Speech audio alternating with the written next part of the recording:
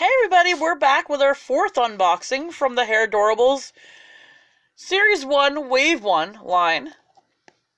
We are still currently hoping to find the one of the rare color changers. I think I've I've gotten to the point where I checked on the checklist and it seems that Alright, spit it out. There's only one color changer per wave.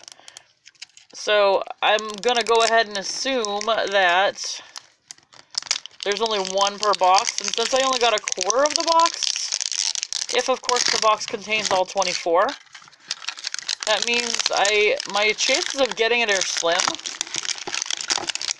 I wonder if it's if it's positioned a certain way in the box. Like sometimes you just kind of know where something is. It's put in the same same spot in every case, you know. But uh, our checklist is going to be on the bottom here. We already have one opened up, so we'll uh, we'll leave that there. So here we go to reveal. Whoa! Popped right out. Whew! Alright, so this one is a blue color. And it smells really good, guys.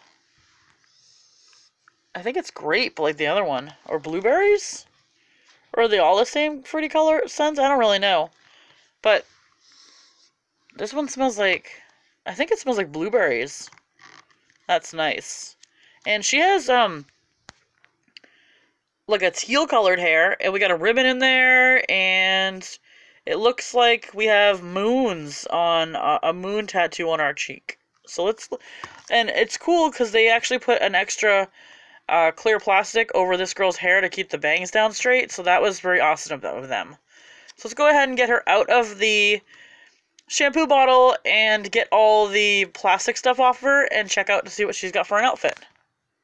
Okay, we've gotten her out of her shampoo bottle and we're going to pull off her, they called it a cape. I forget what they called it.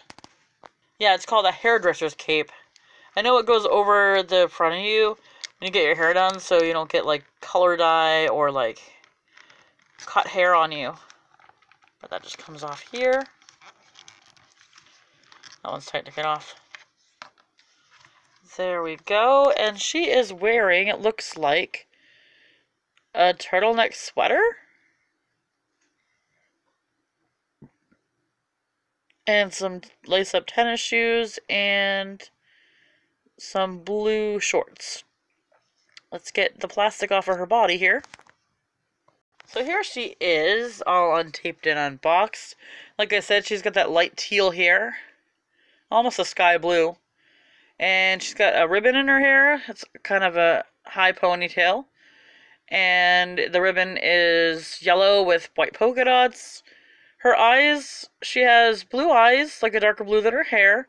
If you look inside the eyes, you can see two crescent moons, one on each side. She is looking up into the right. She has a crescent moon on her cheek, and I bet you she's got one on her forehead under there. She does. She also has um, blue eyebrows and a nice pink eyeshadow. And we were pretty spot on about her outfit. So, same with the, all the other ones. Uh, if you've seen our other video, you have a bunch of different places you can place them. You can either leave her in her chair or pull her off. You can put her in here, because she has a little peg hole on the bottom of her. So you can put her in here. You can sit her on here, pull this off, and have it so that she's just sitting on this stand, which actually looks pretty cool.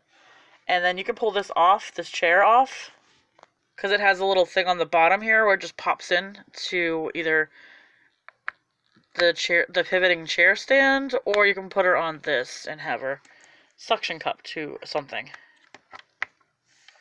So it's pretty cool. And it looks like the girl we got today is Sky from late uh is from Sky or is Sky, sorry. And it is the long Pony Doo. So, um, she looks a lot different in here than she does in real life. I think. But, um, that's who she is.